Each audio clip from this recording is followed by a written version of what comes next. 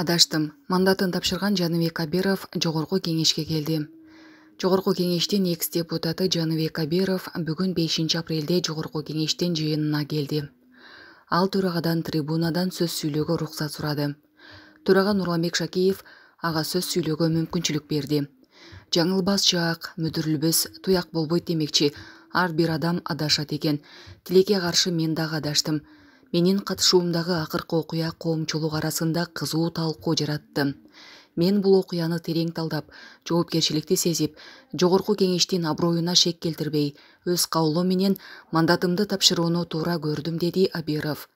Ошондой эле абиров депутаттардын бардыгына көрсөткөн колдоосу үчүн ыраазычылык билдирди эске сала кетсек он экинчи мартта жаныбек абиров мушташка катышканы белгилүү болгон.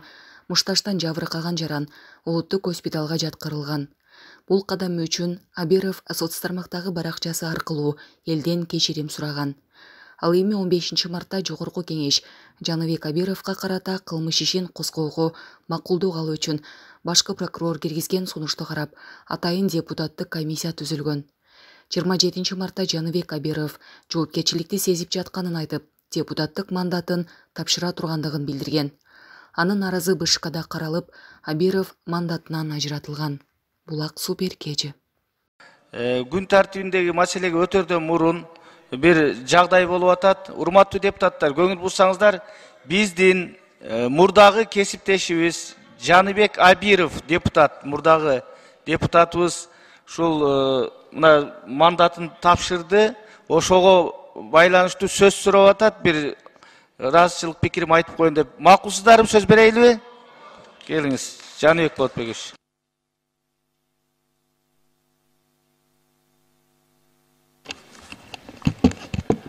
саламатсыздарбы урматтуу мекендештер? Саламатсыздарбы урматтуу нурлан тургунбекович? Урматтуу депутаттар. Мүмкүнчүлүк бергениңиздер үчүн чоң рахмат. Мен ушул трибунада бир жыл үч ай мурун ант бергем. Ошол күндөн тартып бүгүн кайрадан трибунадан кайрылып турган кезим. Албетте коомдук иштер калкка жагымдуу шарттарды түзүү боюнча кайрылуу жасоону пландаган элем. Тилекке каршы бүгүнкү кайрылуум өз каалоом менен жазган арызымдын негизинде депутаттык ыйгарым укуктарымдын токтотулгандыгына байланыштуу болот урматтуу депутаттар сиздер менен жылдан көбүрөөк убакыт ичинде чогуу иштештим бул аралыкта бир топ мыйзам долбоорлорунун үстүндө иш алып бардык депутаттык ишмердүүлүгүм учурунда элдин түйшүгүн жеңилдете турган бир нече мыйзам долбоорлорун сиздер менен чогуу демилгеледик айрымдары кабыл алынып күчүнө кирген болсо айрымдары азыркы учурда талкууланып жаткан кези шайлоочуларым менен тыгыз байланышта болуп алардын сураныштарын аткаруу максатында мамлекеттик жана муниципалдык органдар менен бир катар долбоорлордун үстүндө чогуу иш алып бардык элдин суранычын ишке ашырууга колдоо көрсөтүп жардам бергендиги үчүн министрлер кабинетине жана бишкек шаарынын мэриясына терең ыраазычылык билдирем урматтуу депутаттар мен эки миң он жетинчи жылдан бери саясаттамын. Жогорку кеңешке борборубуздун ленин районунан шайланып келгенге чейин бишкек шаардык кеңешинин депутаты болуп төрагасынын кызматын аркаладым бул мезгилде мага көп нерсеге жол көрсөткөн тажрыйбасы менен бөлүшкөн кеңешин аябаган бишкек шаардык кеңешине жана аппараттын кесипкөй кызматкерлерине терең ыраазычылык билдирем. Бул тажрыйба мен үчүн өлкө парламентине шайланууга түрткү болду. Кудайдын буйругу менен жогорку кеңешке келип бул жерден мыкты досторду саналаштарды таптым. Алар менен ага ини эже карындаш катары мыкты мамиледе жана мындан ары да мамилебиз үзүлбөйт деп ишенем. Жаңылбас жаак мүдүрүлбөс туяк болбойт демекчи ар бир адам адашат экен алардын катарында мен да адаштым тилекке каршы менин катышуумдагы акыркы болуп өткөн окуя коомчулук арасында кызуу талкуу жаратып мен окуяны талдап терең ой жүгүртүп жана жоопкерчиликти сезип жалпы мамлекеттин анын ичинде жогорку кеңештин аброюна шек келтирбей комиссия мүчөлөрүн жана жалпы парламентти ыңгайсыз абалга калтырбай өз каалоом менен мандатымды тапшырууну туура көрдүм. Мыйзам баарына бирдей. Ал катаал болот.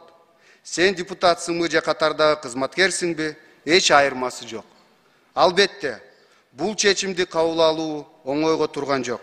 Анткени борбор каалабыздын ленин районундагы он бир миң сегиз жүз он үч шайлоочу мага ишенип алардын өлкө парламентиндеги өкүлү болууга укук берди эле мага тилекке каршы болуп өткөн окуядан кийин кыргыз республикасынын жогорку кеңешинин депутаттын кызматын мындан ары аркалоо моралдык баалуулуктарга каршы келип калмак урматтуу депутаттар ар бириңиздер менен таанышканыма кубанычтамын жана чогуу иштешкениме абдан сыймыктанам сүйүктүү мамлекетибизге албан албан ийгиликтерди каалайм жана дүйнөдөгү эң өнүккөн өлкөлөрдүн катарына киришине тилектешмин бул багытта талыкпай иш алып барып жаткан өлкө жетекчилигине сиздерге урматтуу депутаттарга өкмөт мүчөлөрүнө ар бир кыргызстандыкка ийгилик каалайм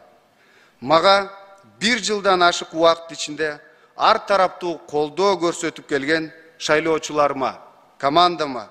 Жогорку кеңештин төрагасы шакиев нурланбек тургунбековичке төраганын орун басарларына фракция лидерлерине депутаттык топтордун жетекчилерине комитет төрагаларына анын ичинде мен мүчө болгон фракциянын депутаттык топтун жана комитеттин жетекчилери сыдыков бактыбек хусеновичке сатыбалдиев элмырза ракиевичке жана төлөнов данияр эрмековичке жалпы депутаттык корпуска терең ыраазычылыгымды билдирем. Ошондой эле жогорку кеңештин аппаратына алкыш айтам. Жалпыңыздардын алдыңыздарда дагы бир ирет аргенден жана анын үй бүлөсүнөн жакындарынан ошондой эле мага ишеним көрсөткөн шайлоочуларымдан жана командамдан жана менин үй бүлөмдөн чын жүрөктөн кечирим сураймын. Сиздер менен сиздер менен биротоло коштошпоймун. Жолугушканга чейин гана демекчимин. Кудай буюрса келечекте мамлекетибиздин өсүп өнүгүүсүнө чогуу салым кошобуз деген үмүттөмүн. Кармаган ороозоңуздар кабыл болсун көңүл бурганыңыздар үчүн. Чоң рахмат.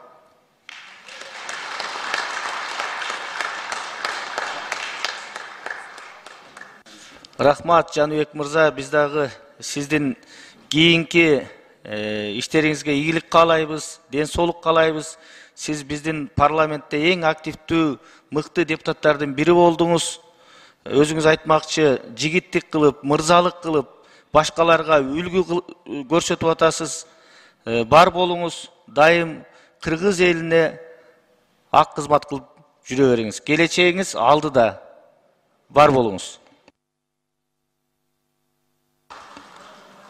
алтынчы микрофон рахмат рахмат төрага саламатсыздарбы урматтуу депутаттар. Мен мекенчил тобунун лидери катары өзүмүн бир көр өзүмүн бир каалоом айтып койсом болбойт деп таптым. Көп убактыңыздарды албайм урматтуу жаныбек болотбекович өзүңүз жаш болгонуңуз менен бүгүнкү чыгып өзүңүздүн кылган кыймыл аракетиңиз менен могул жерде сүйлөгөн сөзүңүз менен мен толук кандуу ишенем сиз бүгүн улуу муунга дагы өзүңүздөй жаш муунга дагы саясий жоопкерчиликтин чоң үлгүлүгүн көрсөттүңүз буну сиз эмес улураак муундар көрсөтсө болмок бирок сиздин көрсөткөн жоопкерчиликтин чеги бул өтө чоң планка коюп койдуңуз бизге мамлекеттик кызматкерлерге мамлекетке иштөө мамлекетке кызмат кылуу ушул сиздей жоопкерчиликтен башталат туура юридикалык нормаларга таянып бизге таянып отура берсеңиз деле болмок бирок сизди сиздеги баалуулук сизге берген ата эненин тарбиясы өзүңүздүн жүрүм турумуңуз балким могул жерге келип жогорку кеңеште көрүп көп нерсени көргөн сизге ага жол бербеди мен айтам биздин мекенчил тобу сиз менен иштегенге аябай ыраазы дагы иштесек болмок өзүңүз айтып кетмекчи ушундай болуп калды бул жагдай буга ар бирибиз качандыр бир учурап калышыбыз мүмкүн мындан эч ким кепилдик бере албайт сизге чоң ыраазычылык ишмердигиңизге өзүңүз туура айттыңыз биз менен коштошпоңуз биз менен көрүшкөнчө деген сөзүңүз дагы бизге чоң таасир этти көп жашаңыз мындан ары жаңылбай жүрүңүз бирок дагы бир ирет айтып кетейин урматтуу кесиптештер мен ар дайым жоопкерчилик эмне жоопкерчилик эмне деп мына он эки жылдан бери жүрүп жоопкерчилик деген ушул деп айтып кете алам сиздерге жоопкерчилик күнөөнү мойнуна албай койсо болот күнөөнү далилдешет бирок жоопкерчиликти андан барып саясий жоопкерчиликти өзүнө алуу бул баатырдык бүгүнкү күндө рахмат жаныбек болотбекович сизге ак жол келечектеги ишиңизге биз ар дайым сизди колдойбуз чоң рахмат кесиптештер рахмат урматтуу депутаттар анда күн тартибиндеги маселелерди кароого өтсөк күн тартибиндеги биринчи маселе эки миң жыйырма үчүнчү жылдын апрелине кыргыз республикасынын жогорку кеңешинин календардык планын бекитүү жөнүндө. Урматтуу депутаттар календардык план сиздердин алдыңыздарда турат андыктан добуш бериң добуш бериңиздер добушка коем урматтуу депутаттар добуш бериңиздер.